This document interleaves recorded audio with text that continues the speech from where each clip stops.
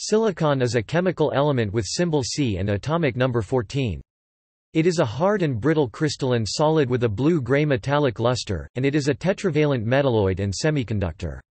It is a member of group 14 in the periodic table, carbon is above it, and germanium, tin, and lead are below it. It is relatively unreactive. Because of its large chemical affinity for oxygen, it was not until 1823 that Jöns Jakob Berzelius was first able to prepare it and characterize it in pure form. Its melting and boiling points of 1414 degrees Celsius and 3265 degrees Celsius respectively are the second highest among all the metalloids and nonmetals, being only surpassed by boron. Silicon is the eighth most common element in the universe by mass, but very rarely occurs as the pure element in the Earth's crust. It is most widely distributed in dusts, sands, planetoids, and planets as various forms of silicon dioxide silica or silicates. Over 90% of the Earth's crust is composed of silicate minerals, making silicon the second most abundant element in the Earth's crust about 28% by mass after oxygen. Most silicon is used commercially without being separated, and often with little processing of the natural minerals. Such use includes industrial construction with clays, silica sand, and stone. Silicates are used in Portland cement for mortar and stucco, and mixed with silica sand and gravel to make concrete for walkways, foundations, and roads. They are also used in whiteware ceramics such as porcelain, and in traditional quartz-based soda-lime glass and many other specialty glasses. Silicon compounds such as silicon carbide are used as abrasives and components of high-strength ceramics.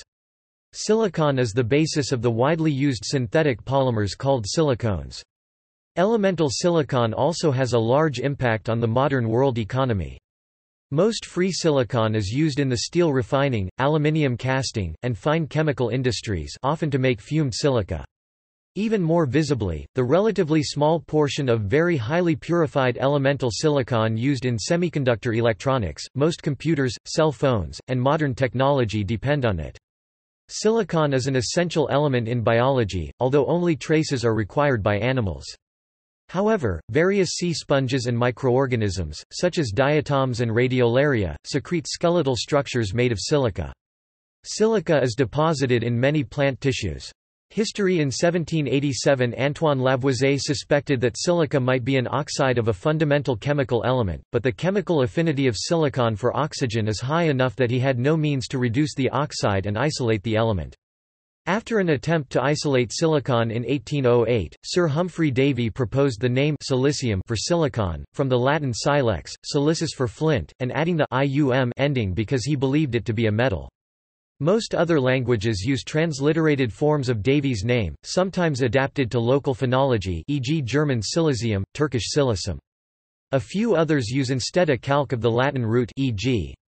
Russian kremnij, from kremen flint, Greek pyritio from pyre fire, Finnish pe from piikivi flint. In 1811, Gay-Lussac and Thénard are thought to have prepared impure amorphous silicon, through the heating of recently isolated potassium metal with silicon tetrafluoride, but they did not purify and characterize the product, nor identify it as a new element. Silicon was given its present name in 1817 by Scottish chemist Thomas Thomson. He retained part of Davy's name but added on because he believed that silicon was a nonmetal similar to boron and carbon. In 1823, Jöns Jakob Berzelius prepared amorphous silicon using approximately the same method as Gay-Lussac reducing potassium fluorosilicate with molten potassium metal, but purifying the product to a brown powder by repeatedly washing it. As a result, he is usually given credit for the element's discovery. The same year, Berzelius became the first to prepare silicon tetrachloride. Silicon tetrafluoride had already been prepared long before in 1771 by Carl Wilhelm Scheele by dissolving silica in hydrofluoric acid. Silicon in its more common crystalline form was not prepared until 31 years later, by Deville. By electrolyzing a mixture of sodium chloride and aluminium chloride containing approximately 10% silicon, he was able to obtain a slightly impure allotrope of silicon in 1854. Later, more cost-effective methods have been developed to isolate several allotrope forms, the most recent being silicene in 2010. Meanwhile, research on the chemistry of silicon continued. Friedrich Wöhler discovered the first volatile hydrides of silicon, synthesizing trichlorosilane in 1857 and silane itself in 1858, but a detailed investigation of the silanes was only carried out in the early 20th century by Alfred Stock, despite early speculation on the matter dating as far back as the beginnings of synthetic organic chemistry in the 1830s.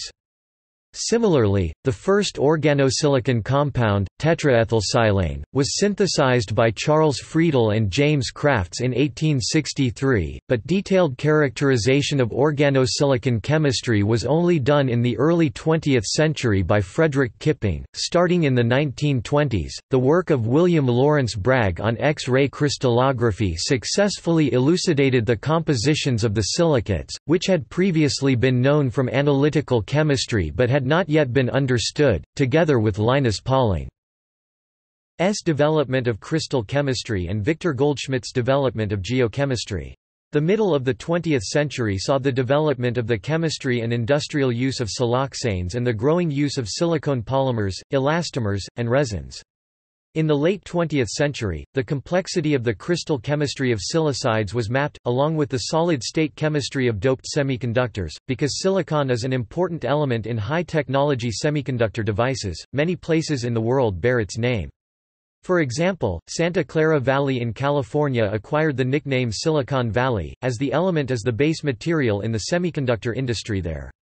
Since then, many other places have been dubbed similarly, including Silicon Forest in Oregon, Silicon Hills in Austin, Texas, Silicon Slopes in Salt Lake City, Utah, Silicon Saxony in Germany, Silicon Valley in India, Silicon Border in Mexicali, Mexico, Silicon Fen in Cambridge, England, Silicon Roundabout in London, Silicon Glen in Scotland, and Silicon Gorge in Bristol, England.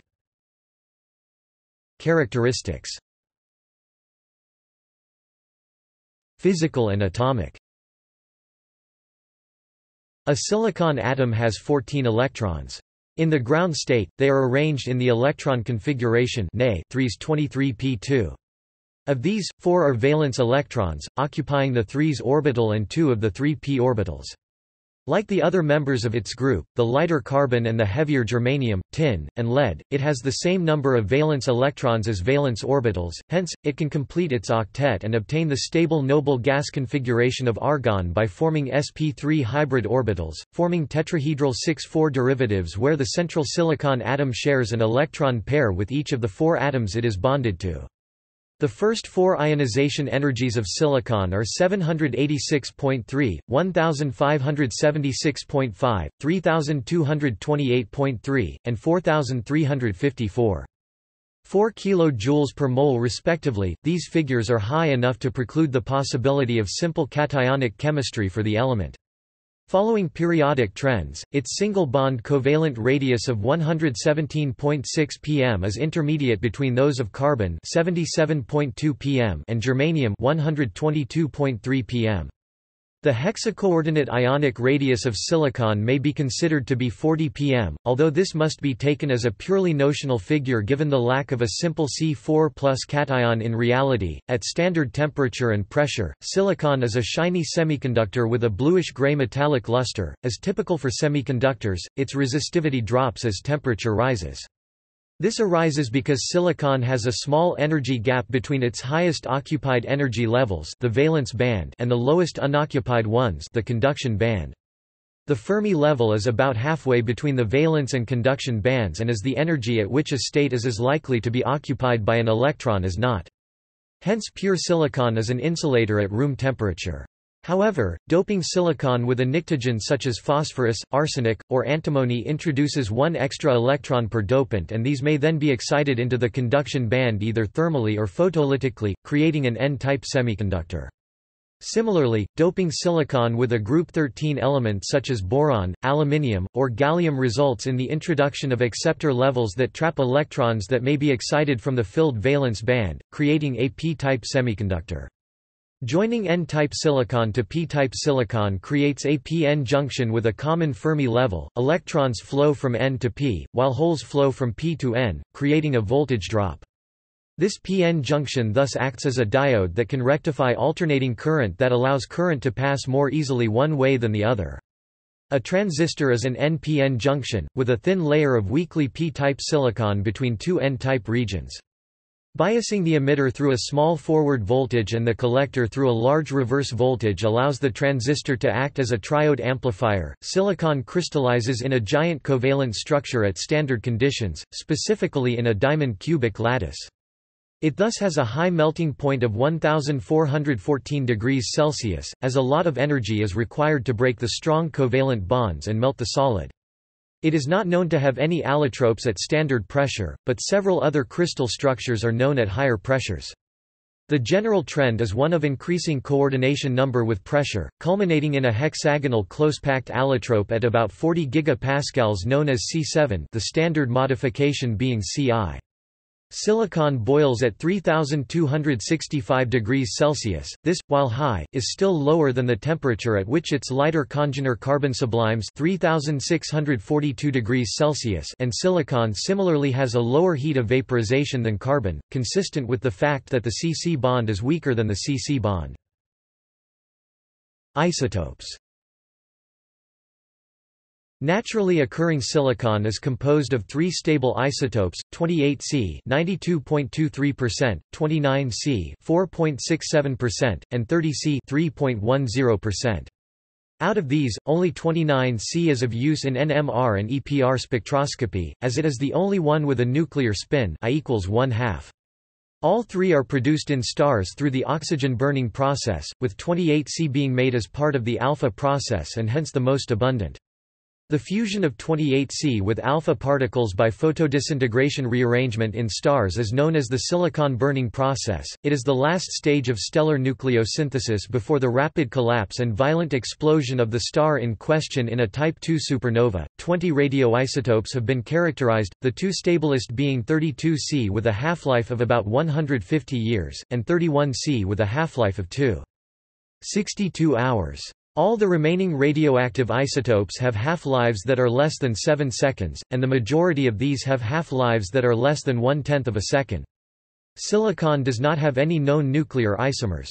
32C undergoes low-energy beta decay to 32P and then stable 32S. 31C may be produced by the neutron activation of natural silicon and is thus useful for quantitative analysis. It can be easily detected by its characteristic beta decay to stable 31P, in which the emitted electron carries up to 1.48 MeV of energy. The known isotopes of silicon range in mass number from 22 to 44.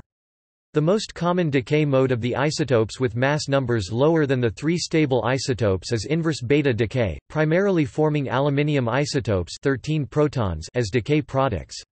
The most common decay mode for the heavier unstable isotopes is beta decay, primarily forming phosphorus isotopes 15 protons as decay products.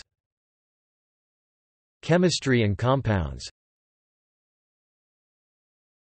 Crystalline bulk silicon is rather inert, but becomes more reactive at high temperatures. Like its neighbor aluminium, silicon forms a thin, continuous surface layer of silicon dioxide, silicon oxide that protects the metal from oxidation.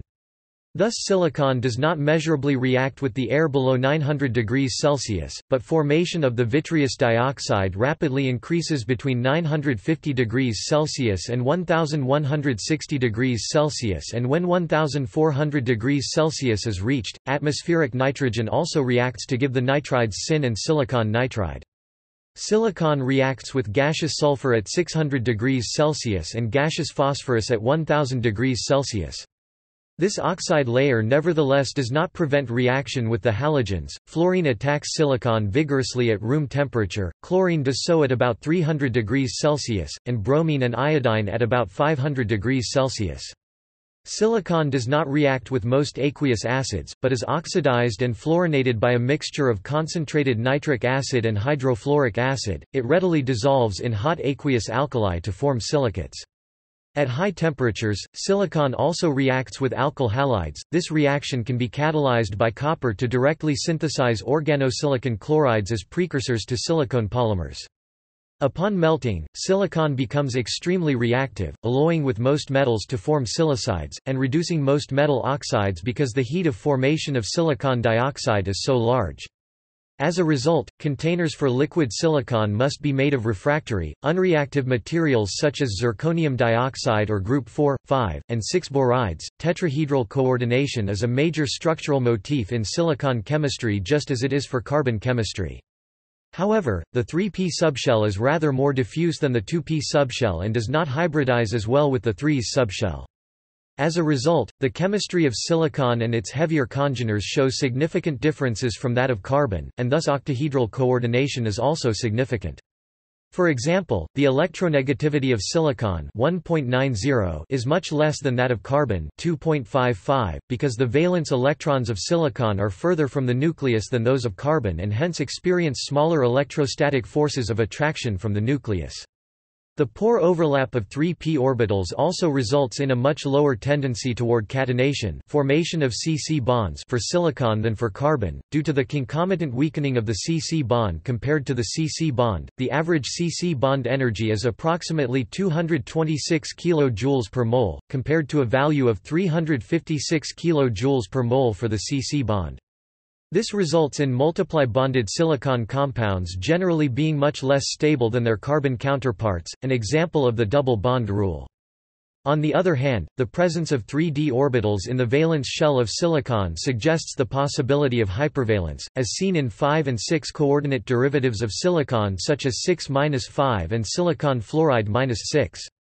Lastly, because of the increasing energy gap between the valence s and p orbitals as the group is descended, the divalent state grows in importance from carbon to lead, so that a few unstable divalent compounds are known for silicon. This lowering of the main oxidation state, in tandem with increasing atomic radii, results in an increase of metallic character down the group.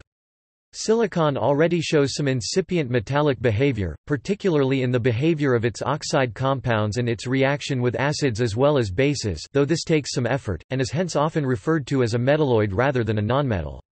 However, metallicity does not become clear in group 14 until germanium and dominant until tin. With the growing importance of the lower plus 2 oxidation state, silicon shows clear differences from carbon. For example, organic chemistry has very few analogies with silicon chemistry, while silicate minerals have a structural complexity unseen in oxocarbons.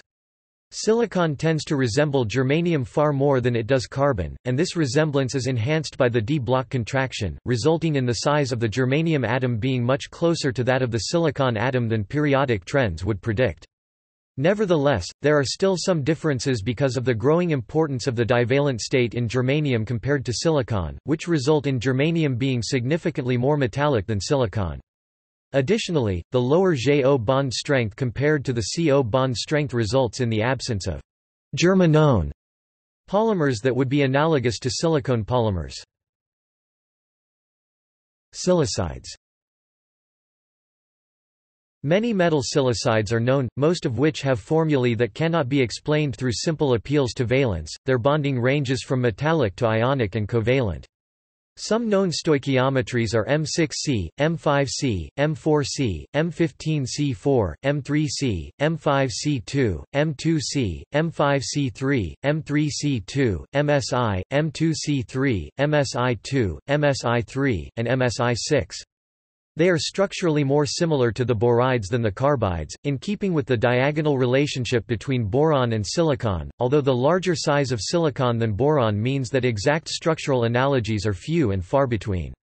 The heats of formation of the silicides are usually similar to those of the borides and carbides of the same elements, but they usually melt at lower temperatures. Silicides are known for all stable elements in groups 1 to 10, with the exception of beryllium, in particular, uranium and the transition metals of groups 4 to 10 show the widest range of stoichiometries. Except for copper, the metals in groups 11 to 15 do not form silicides. Most instead form eutectic mixtures, although the heaviest post-transition metals mercury, thallium, lead, and bismuth are completely immiscible with liquid silicon. Silicides are usually prepared by direct reaction of the elements. For example, the alkali metals and alkaline earth metals react with silicon or silicon oxide to give silicides. Nevertheless, even with these highly electropositive elements true silicon anions are not obtainable, and most of these compounds are semiconductors. For example, the alkali metal silicides M 4 E4 contain pyramidal tricoordinate silicon in the C4 anion, isoelectronic with white phosphorus, P4. Metal-rich silicides tend to have isolated silicon atoms E, G. With increasing silicon content, catenation increases, resulting in isolated clusters of 2 E, G. U3C2 or 4 silicon atoms E, G. K plus 4 C4 4 minus at first, followed by chains E, G. Calcium silicide, layers E, G.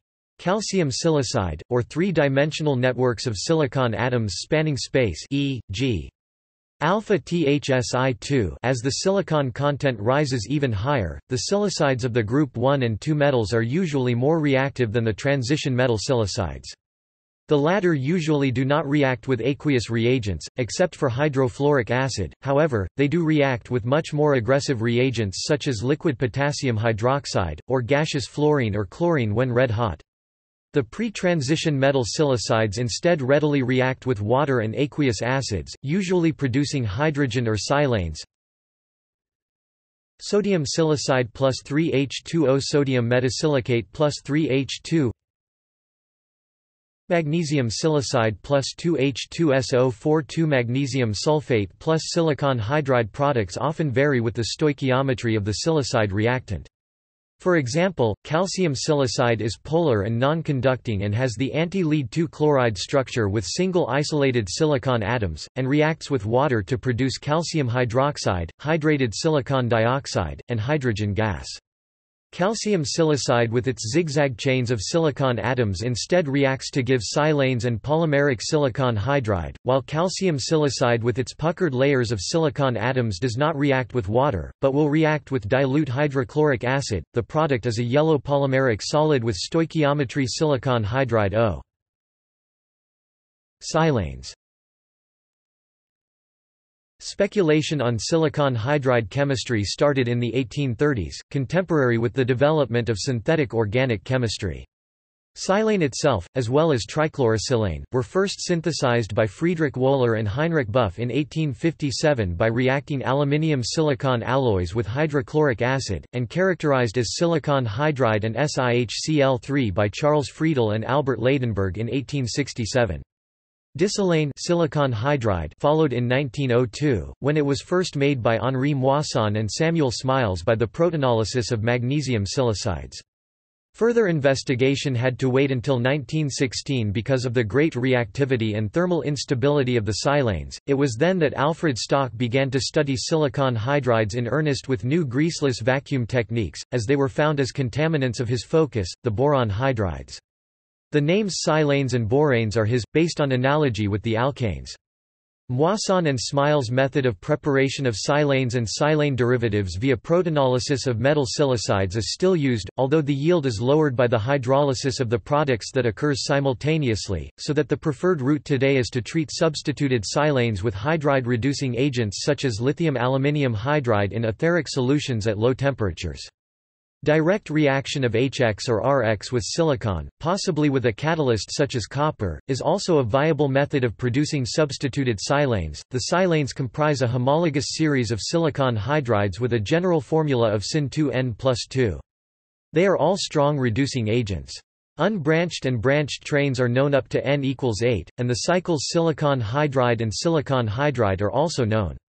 The first two, silane and disilane, are colorless gases, the heavier members of the series are volatile liquids.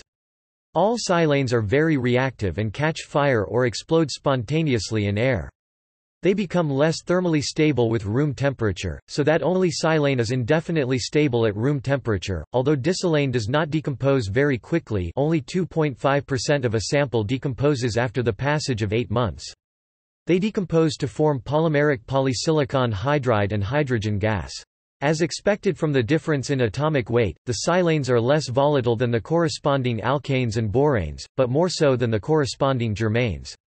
They are much more reactive than the corresponding alkanes, because of the larger radius of silicon compared to carbon facilitating nucleophilic attack at the silicon, the greater polarity of the CH bond compared to the CH bond, and the ability of silicon to expand its octet and hence form adducts and lower the reaction's activation energy. Silane pyrolysis gives polymeric species and finally elemental silicon and hydrogen, indeed ultrapure silicon is commercially produced by the pyrolysis of silane. While the thermal decomposition of alkanes starts by the breaking of a CH or CC bond and the formation of radical intermediates, polysilanes decompose by eliminating silenes, silicon hydride or, SiHr, as the activation energy of this process approximately 210 kJ per mole is much less than the CC and CH bond energies. While pure silanes do not react with pure water or dilute acids, traces of alkali catalyze immediate hydrolysis to hydrated silicon dioxide. If the reaction is carried out in methanol, controlled solvolysis results in the products silicon hydride OME 2, SiH OME 3, and C OME 4. The CH bond also adds to alkenes, a reaction which proceeds slowly and speeds up with increasing substitution of the silane involved. At 450 degrees Celsius, silane participates in an addition reaction with acetone, as well as a ring-opening reaction with ethylene oxide. Direct reaction of the silanes with chlorine or bromine results in explosions at room temperature, but the reaction of silane with bromine at 80 degrees Celsius is controlled and yields bromosilane and dibromosilane. The monohalosilanes may be formed by reacting silane with the appropriate hydrogen halide with an Al2X6 catalyst, or by reacting silane with a solid silver halide in a heated flow reactor.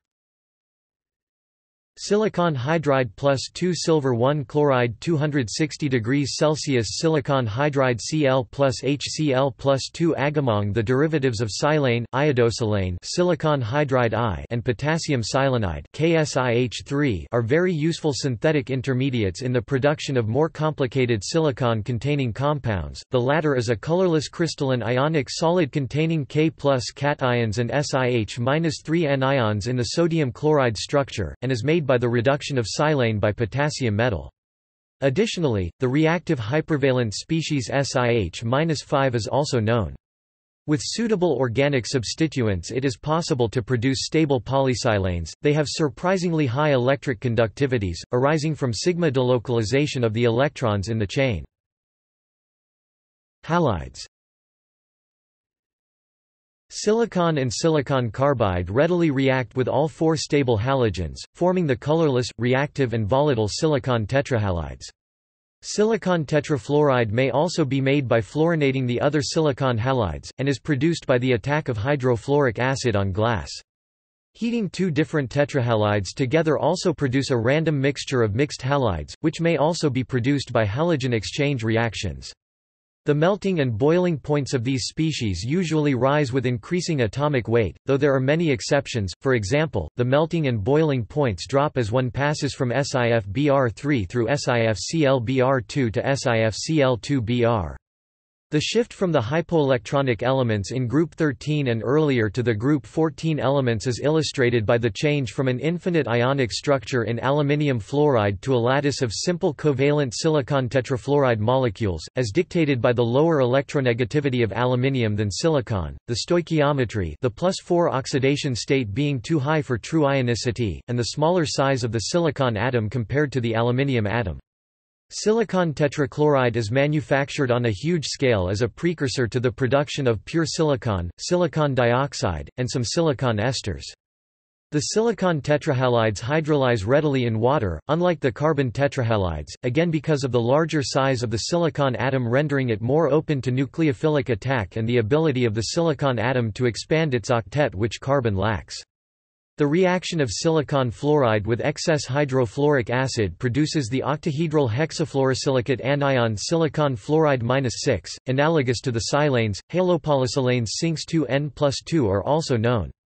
While catenation in carbon compounds is maximized in the hydrogen compounds rather than the halides, the opposite is true for silicon, so that the halopolysilanes are known up to at least silicon fluoride, silicon chloride, and silicon bromide. A suggested explanation for this phenomenon is the compensation for the electron loss of silicon to the more electronegative halogen atoms by pi backbonding from the filled p-pi orbitals on the halogen atoms to the empty d-pi orbitals on silicon. This is similar to the situation of carbon monoxide in metal carbonyl complexes and explains their stability. These halopolysilanes may be produced by comproportionation of silicon tetrahalides with elemental silicon, or by condensation of lighter halopolysilanes, trimethylammonium being a useful catalyst for this reaction. Silica Silicon dioxide silicon oxide, also known as silica, is one of the best studied compounds, second only to water. Twelve different crystal modifications of silica are known, the most common being alpha quartz, a major constituent of many rocks such as granite and sandstone. It is also known to occur pure as rock crystal. Impure forms are known as rose quartz, smoky quartz, morion, amethyst, and citrine. Some poorly crystalline forms of quartz are also known, such as chalcedony, chrysoprase, carnelian, agate, onyx, jasper, heliotrope, and flint. Other modifications of silicon dioxide are known in some other minerals such as tridymite and cristobalite, as well as the much less common coesite and stishovite. Biologically generated forms are also known as kieselguhr and diatomaceous earth. Vitreous silicon dioxide is known as tektites, and obsidian, and rarely as lechatelierite. Some synthetic forms are known as keatite and W-silica. Opals are composed of complicated crystalline aggregates of partially hydrated silicon dioxide. Most crystalline forms of silica are made of infinite arrangements of silicon oxide tetrahedra with C at the center connected at their corners, with each oxygen atom linked to two silicon atoms. In the thermodynamically stable room temperature form, alpha quartz, these tetrahedra are linked in intertwined helical chains with two different CO distances 159.7 and 161.7 pm with a COC angle of 144 degrees. These helices can be either left or right-handed, so that individual alpha quartz crystals are optically active. At 537 degrees Celsius, this transforms quickly and reversibly into the similar beta quartz, with a change of the COC angle to 155 degrees but a retention of handedness. Further heating to 867 degrees Celsius results in another reversible phase transition to beta tridymite, in which some CO bonds are broken to allow for the arrangement of the silicon oxide tetrahedra into a more open and less dense hexagonal structure. This transition is slow and hence tridymite occurs as a metastable mineral even below this transition temperature. When cooled to about 120 degrees Celsius it quickly and reversibly transforms by slight displacements of individual silicon and oxygen atoms to alpha tridymite. Similarly to the transition from alpha quartz to beta quartz, beta tridymite slowly transforms to cubic beta cristobalite at about 1470 degrees Celsius, which once again exists metastably below this transition temperature and transforms at 200 to 280 degrees Celsius to alpha cristobalite via small atomic displacements. Beta cristobalite melts at 1713 degrees Celsius. The freezing of silica from the melt is quite slow and vitrification, or the formation of a glass, is likely to occur instead. In vitreous silica, the silicon oxide tetrahedra remain corner connected, but the symmetry and periodicity of the crystalline forms are lost. Because of the slow conversions between these three forms, it is possible upon rapid heating to melt beta quartz 1550 degrees Celsius or beta tridymite 1703 degrees Celsius. Silica boils at approximately 2800 degrees Celsius. Other high-pressure forms of silica are known, such as coesite and stishovite. These are known in nature, formed under the shock pressure of a meteorite impact and then rapidly quenched to preserve the crystal structure. Similar melting and cooling of silica occurs following lightning strikes, forming glassy lechatelierite.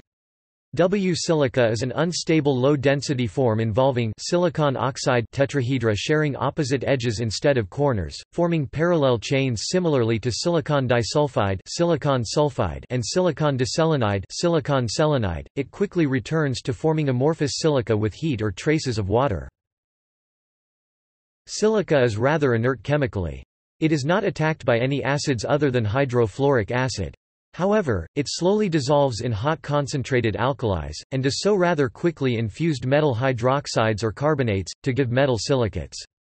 Among the elements, it is attacked only by fluorine at room temperature to form silicon tetrafluoride. Hydrogen and carbon also react, but require temperatures over 1000 degrees Celsius to do so.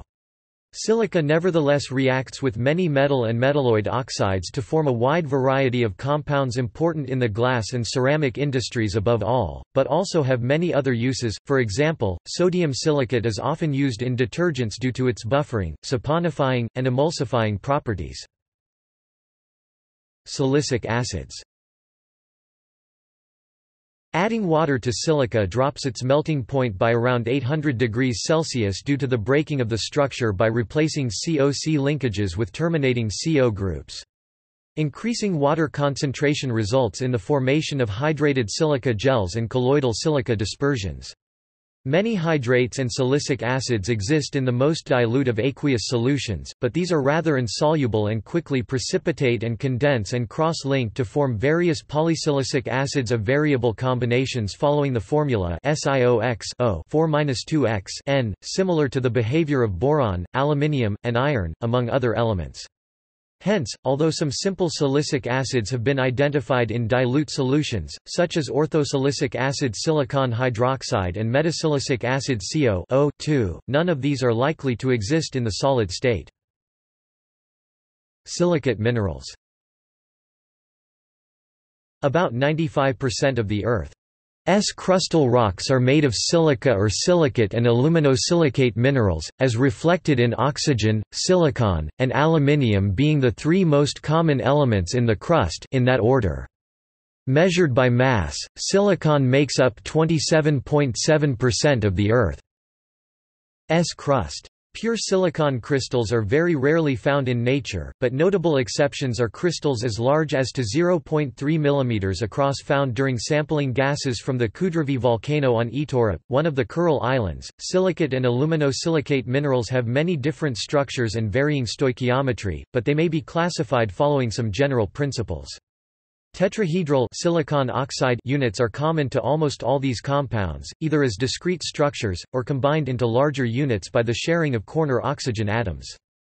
These may be divided into nesosilicates discrete silicon oxide units sharing no oxygen atoms, sorosilicates discrete silicon oxide units sharing one, cyclosilicates closed ring structures and inosilicates continuous chain or ribbon structures both sharing two, phyllosilicates continuous sheets sharing three, and tectosilicates continuous three-dimensional frameworks sharing four. The lattice of oxygen atoms that results is usually close-packed or close to it, with the charge being balanced by other cations in various different polyhedral sites according to size. The orthosilicates MiI2 silicon oxide M equals B, Mg, Minnesota, Fe, Zn, and zirconium silicate are nesosilicates. Beryllium silicate is unusual as both Be and SiIV occupy tetrahedral 4-coordinated sites, the other divalent cations instead occupy 6-coordinated octahedral sites and often isomorphously replace each other as in olivine, Mg, Fe, Minnesota 2 silicon oxide. Zircon, zirconium silicate, demands 8 coordination of the ZrIV cations due to stoichiometry and because of their larger ionic radius 84 pm. Also significant are the garnets, MiI3 MiII2 silicon oxide 3, in which the divalent cations e.g. Ca, Mg, Fe are 8 coordinated and the trivalent ones are 6 coordinated e.g. Al, Cr, Fe. Regular coordination is not always present, for example, it is not found in calcium silicate, which mixes 6 and 8 coordinate sites for Ke. Sorosilicates, involving discrete double or triple tetrahedral units, are quite rare. Metasilicates involving cyclic silicon oxide N 2N-. Units of corner abutting tetrahedra forming a polygonal ring are also known. Chain metasilicates, silicon oxide -3 infinity, form by corner sharing of an indefinite chain of linked silicon oxide tetrahedra. Many differences arise due to the differing repeat distances of conformation across the line of tetrahedra.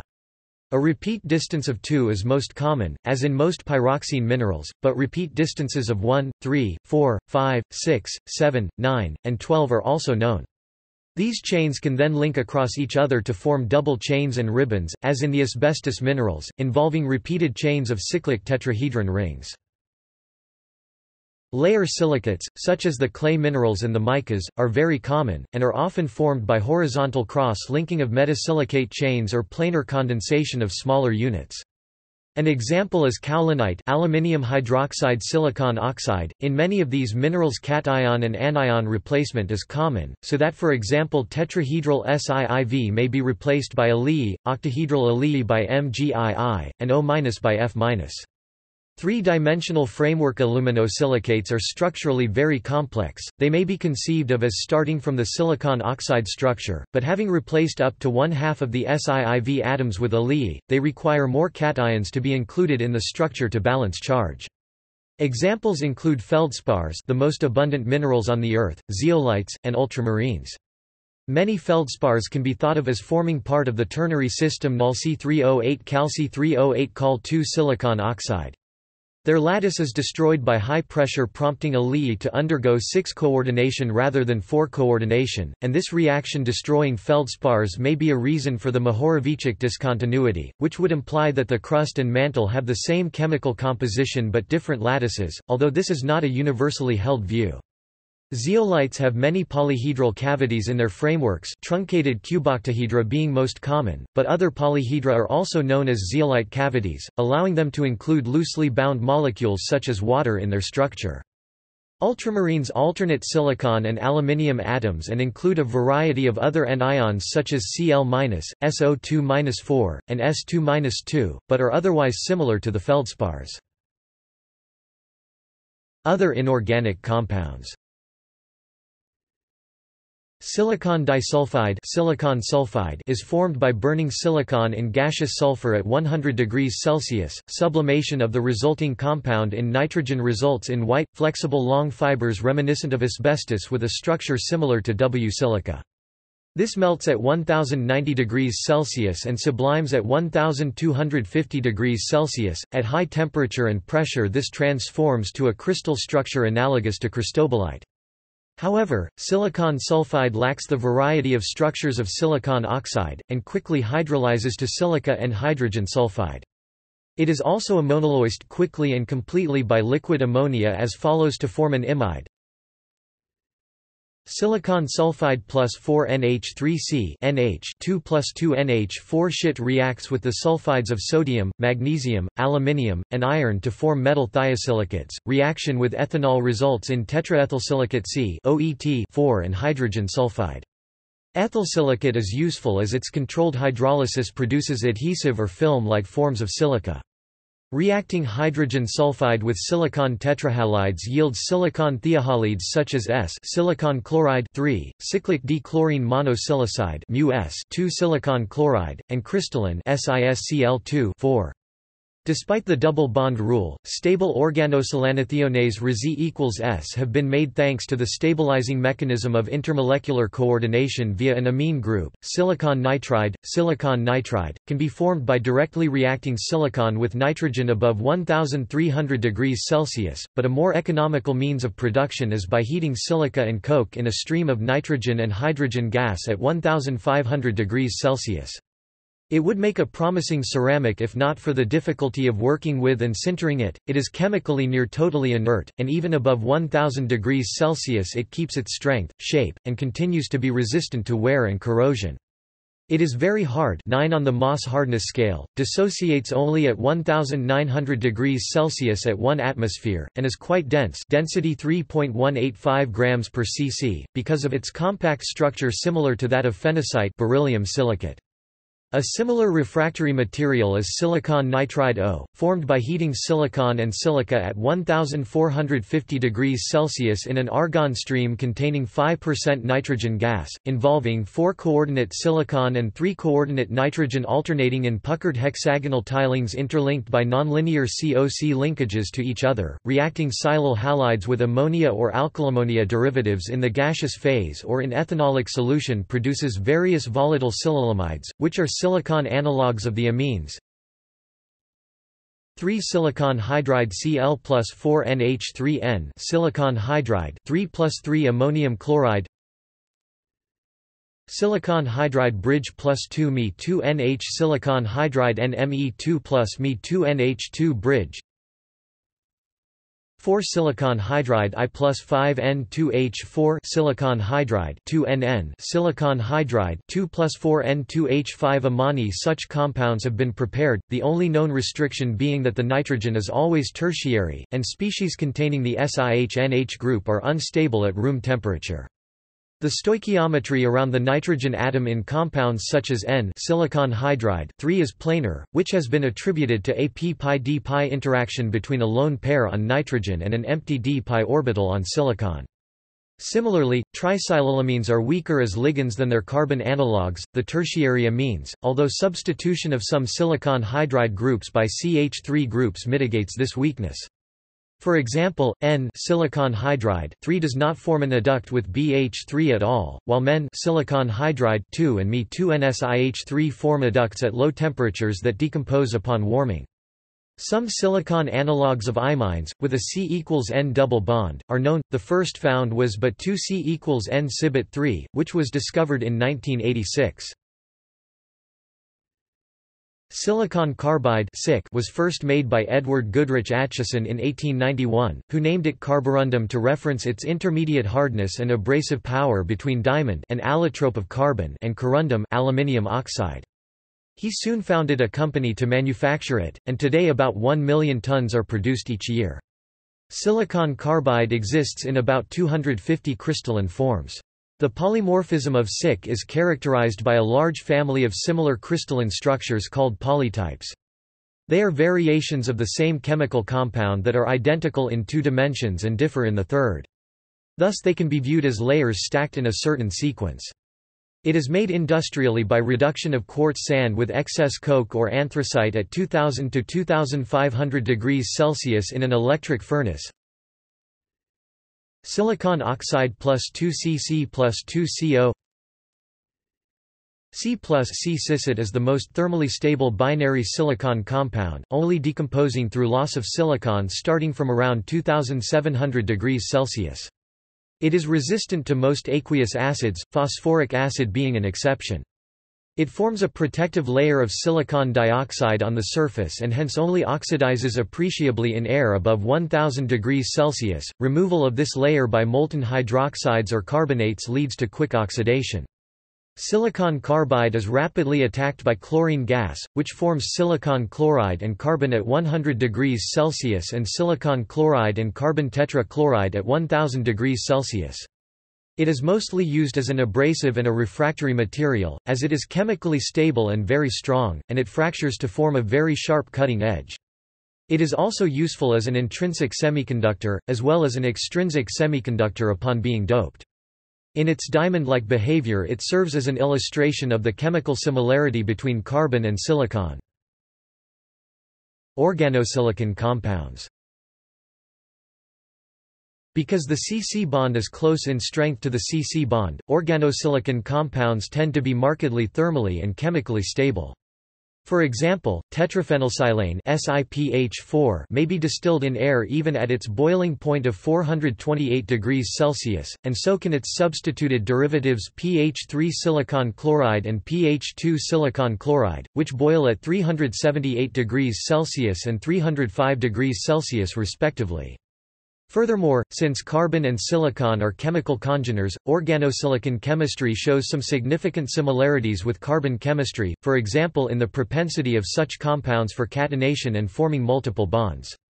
However, significant differences also arise, since silicon is more electropositive than carbon, bonds to more electronegative elements are generally stronger with silicon than with carbon, and vice versa. Thus the CF bond is significantly stronger than even the CF bond and is one of the strongest single bonds, while the CH bond is much weaker than the CH bond and is readily broken. Furthermore, the ability of silicon to expand its octet is not shared by carbon, and hence some organosilicon reactions have no organic analogues. For example, nucleophilic attack on silicon does not proceed by the SN2 or SN1 processes, but instead goes through a negatively charged true pentacoordinate intermediate and appears like a substitution at a hindered tertiary atom. This works for silicon, unlike for carbon, because the long C-C bonds reduce the steric hindrance and the d orbital of silicon is geometrically unconstrained for nucleophilic attack, unlike for example a CO sigma antibonding orbital.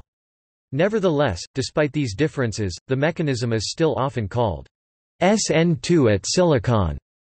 For simplicity, one of the most useful silicon-containing groups is trimethylsilyl, Me3C.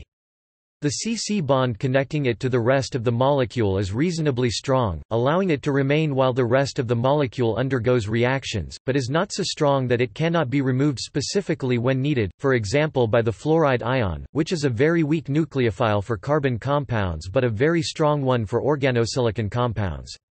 It may be compared to acidic protons, while trisilylmethyl is removed by hard nucleophiles instead of bases, both removals usually promote elimination. As a general rule, while saturated carbon is best attacked by nucleophiles that are neutral compounds, those based on nonmetals far down on the periodic table e.g. sulfur, selenium, or iodine, or even both, silicon is best attacked by charged nucleophiles, particularly those involving such highly electronegative nonmetals as oxygen, fluorine, or chlorine.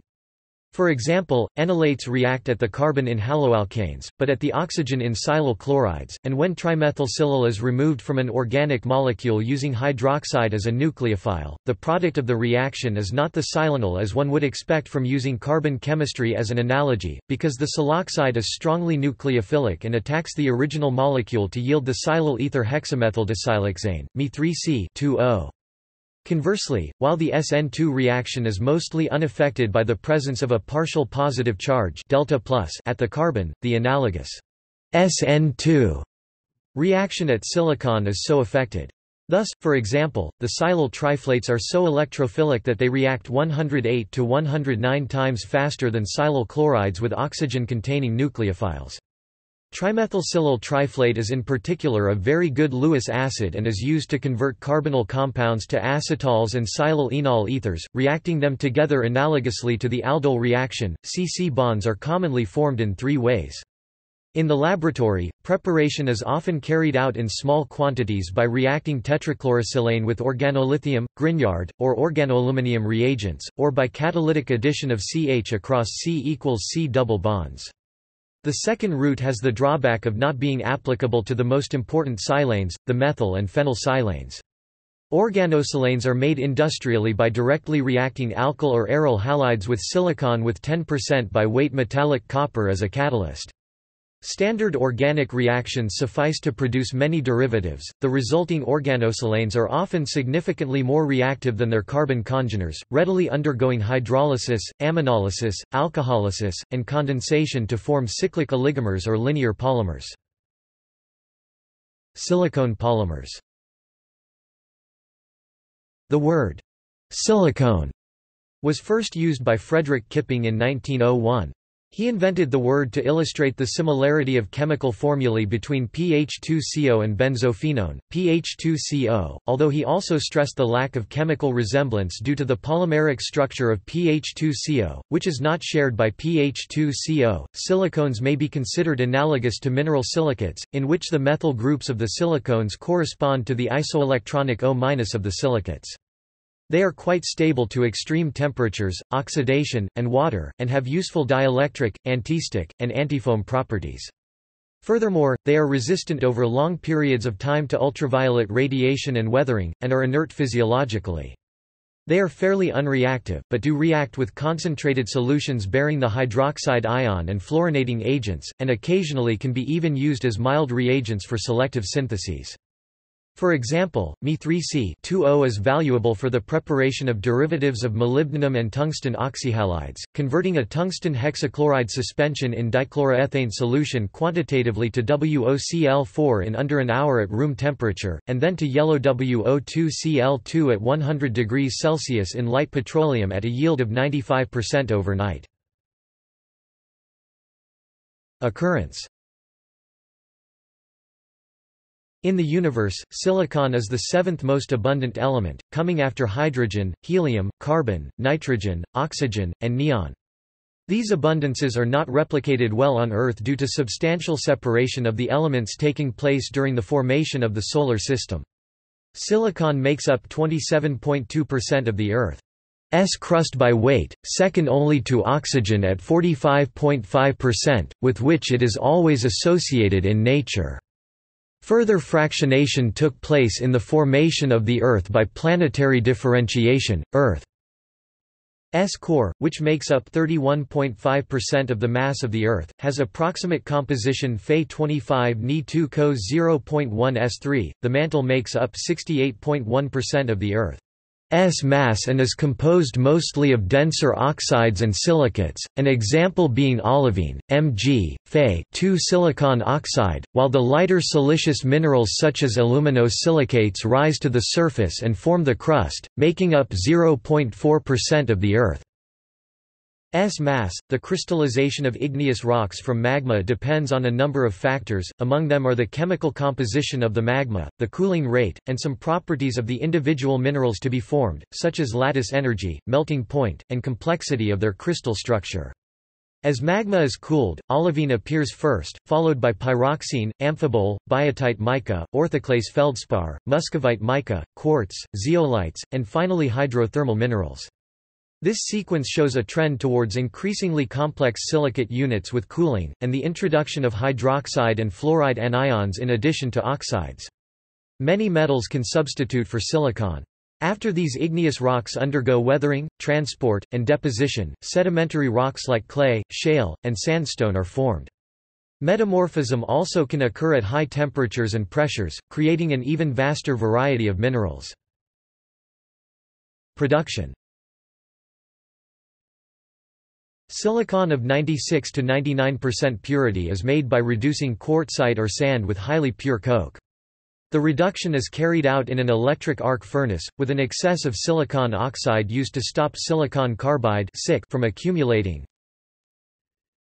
Silicon oxide plus 2 Cc plus 2 CO 2 SiC plus silicon oxide 3C plus 2 CO this reaction, known as carbothermal reduction of silicon dioxide, is usually conducted in the presence of scrap iron with low amounts of phosphorus and sulfur, producing ferrosilicon.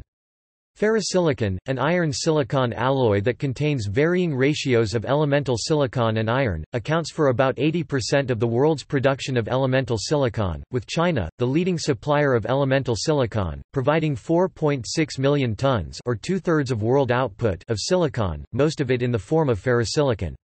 It is followed by Russia 610,000 t, Norway 330,000 t, Brazil 240,000 t, and the United States 170,000 t. Ferrosilicon is primarily used by the iron and steel industry see below with primary use as alloying addition in iron or steel and for deoxidation of steel in integrated steel plants. Another sometimes used reaction is aluminothermal reduction of silicon dioxide, as follows 3 silicon oxide plus 4 Al 3C plus 2 aluminium oxide leaching powdered 96 to 97% pure silicon with water results in approximately 98.5% pure silicon, which is used in the chemical industry. However, even greater purity is needed for semiconductor applications, and this is produced from the reduction of tetrachlorosilane or trichlorosilane. The former is made by chlorinating scrap silicon and the latter is a byproduct of silicone production. These compounds are volatile and hence can be purified by repeated fractional distillation, followed by reduction to elemental silicon with very pure zinc metal as the reducing agent. The spongy pieces of silicon thus produced are melted and then grown to form cylindrical single crystals, before being purified by zone refining. Other routes use the thermal decomposition of silane or tetraiodosilane. Another process used is the reduction of sodium hexafluorosilicate, a common waste product of the phosphate fertilizer industry, by metallic sodium. This is highly exothermic and hence requires no outside fuel source. Hyperfine silicon is made at a higher purity than almost every other material. Transistor production requires impurity levels in silicon crystals less than 1 part per 1010, and in special cases impurity levels below 1 part per 1012 are needed and attained. Applications Compounds Most silicon is used industrially without being purified, and indeed often with comparatively little processing from its natural form. Over 90% of the Earth's crust is composed of silicate minerals, which are compounds of silicon and oxygen, often with metallic ions when negatively charged silicate anions require cations to balance the charge. Many of these have direct commercial uses, such as clays, silica sand and most kinds of building stone. Thus, the vast majority of uses for silicon are as structural compounds, either as the silicate minerals or silica crude silicon dioxide. Silicates are used in making Portland cement made mostly of calcium silicates which is used in building mortar and modern stucco, but more importantly, combined with silica sand, and gravel usually containing silicate minerals like granite, to make the concrete that is the basis of most of the very largest industrial building projects of the modern world. Silica is used to make fire brick, a type of ceramic. Silicate minerals are also in whiteware ceramics, an important class of products usually containing various types of fired clay minerals natural aluminium phyllosilicates. An example is porcelain which is based on the silicate mineral kaolinite. Traditional glass silica-based soda-lime glass also functions in many of the same ways, and is also used for windows and containers. In addition, specialty silica-based glass fibers are used for optical fiber, as well as to produce fiberglass for structural support and glass wool for thermal insulation. Silicones are often used in waterproofing treatments, molding compounds, mold release agents, mechanical seals, high-temperature greases and waxes, and caulking compounds. Silicone is also sometimes used in breast implants, contact lenses, explosives and pyrotechnics. Silly putty was originally made by adding boric acid to silicone oil. Other silicon compounds function as high-technology abrasives and new high-strength ceramics based upon silicon carbide. Silicon is a component of some superalloys. Alloys Elemental silicon is added to molten cast iron as ferrosilicon or silicocalcium alloys to improve performance in casting thin sections and to prevent the formation of cementite where exposed to outside air. The presence of elemental silicon in molten iron acts as a sink for oxygen, so that the steel carbon content, which must be kept within narrow limits for each type of steel, can be more closely controlled. Ferrosilicon production and use is a monitor of the steel industry, and although this form of elemental silicon is grossly impure, it accounts for 80% of the world's use of free silicon. Silicon is an important constituent of electrical steel, modifying its resistivity and ferromagnetic properties. The properties of silicon can be used to modify alloys with metals other than iron. Metallurgical grade Silicon is silicon of 95 to 99% purity. About 55% of the world consumption of metallurgical purity silicon goes for production of aluminium silicon alloys, alloys for aluminium part casts, mainly for use in the automotive industry. Silicon's importance in aluminium casting is that a significantly high amount 12% of silicon in aluminium forms a eutectic mixture which solidifies with very little thermal contraction. This greatly reduces tearing and cracks formed from stress as casting alloys cool to solidity. Silicon also significantly improves the hardness and thus wear resistance of aluminium. Electronics Most elemental silicon produced remains as a ferrosilicon alloy, and only about 20% is refined to metallurgical grade purity a total of 1.3 to 1.5 million metric ton per year. An estimated 15% of the world production of metallurgical-grade silicon is further refined to semiconductor purity. This typically is the 99 or 99.999999% purity, nearly defect-free single crystalline material. Monocrystalline silicon of such purity is usually produced by the Czochralski process, is used to produce silicon wafers used in the semiconductor industry, in electronics, and in some high-cost and high-efficiency photovoltaic applications. Pure silicon is an intrinsic semiconductor, which means that unlike metals, it conducts electron holes and electrons released from atoms by heat. Silicon's electrical conductivity increases with higher temperatures. Pure silicon has too low a conductivity i.e., too high a resistivity to be used as a circuit element in electronics. In practice, pure silicon is doped with small concentrations of certain other elements, which greatly increase its conductivity and adjust its electrical response by controlling the number and charge positive or negative of activated carriers. Such control is necessary for transistors, solar cells, semiconductor detectors, and other semiconductor devices used in the computer industry and other technical applications. In silicon photonics, silicon can be used as a continuous wave Raman laser medium to produce coherent light. In common integrated circuits, a wafer of monocrystalline silicon serves as a mechanical support for the circuits, which are created by doping and insulated from each other by thin layers of silicon oxide, an insulator that is easily produced on Si surfaces by processes of thermal oxidation or local oxidation LOCOS, which involve exposing the element to oxygen under the proper conditions that can be predicted by the Deal-Grove Grove model.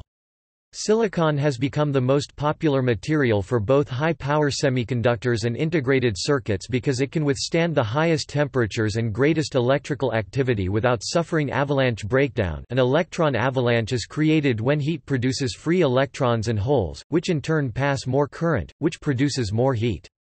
In addition, the insulating oxide of silicon is not soluble in water, which gives it an advantage over germanium an element with similar properties which can also be used in semiconductor devices in certain fabrication techniques. Monocrystalline silicon is expensive to produce, and is usually justified only in production of integrated circuits, where tiny crystal imperfections can interfere with tiny circuit paths. For other uses, other types of pure silicon may be employed.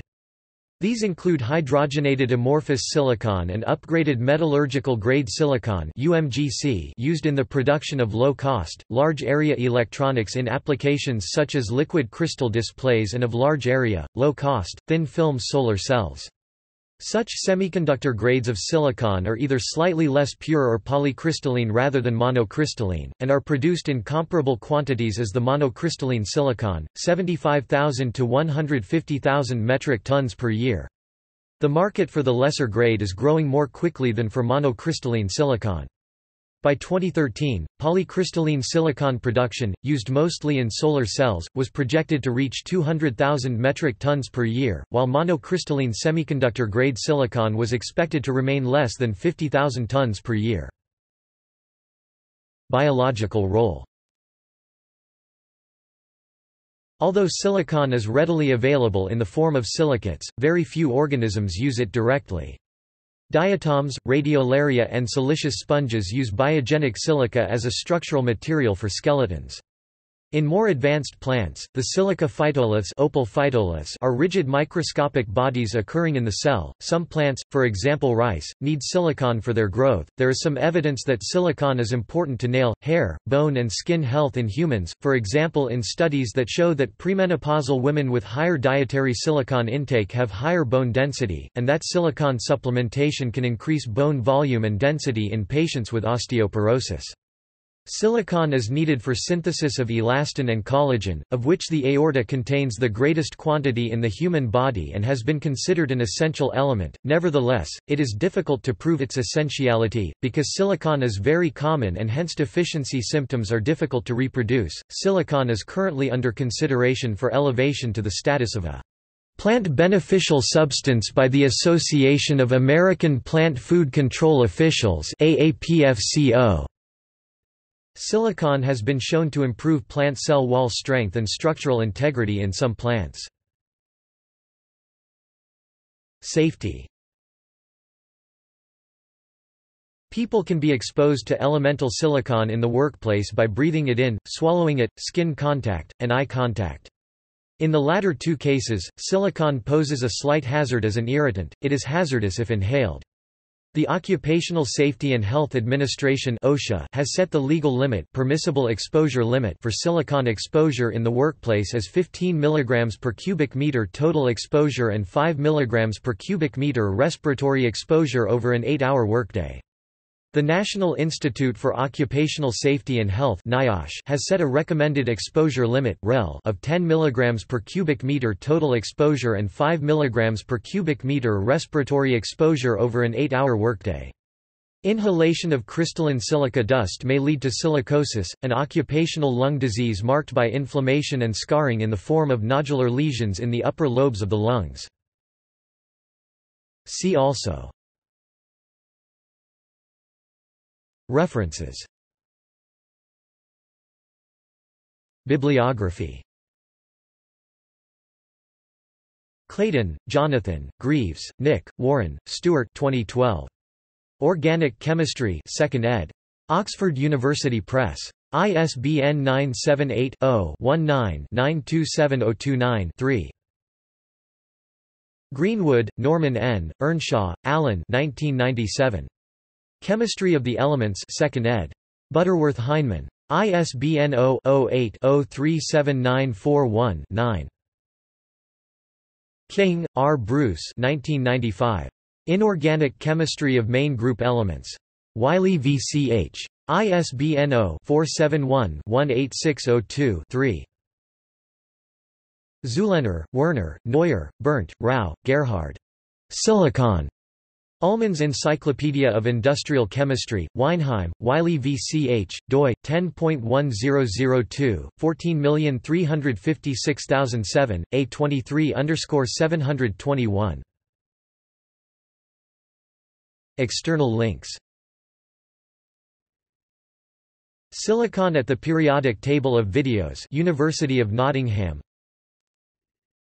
CDC, NIOSH Pocket Guide to Chemical Hazards New Semiconductor Materials, Ioffe Physicotechnical Institute St. Petersburg, Russia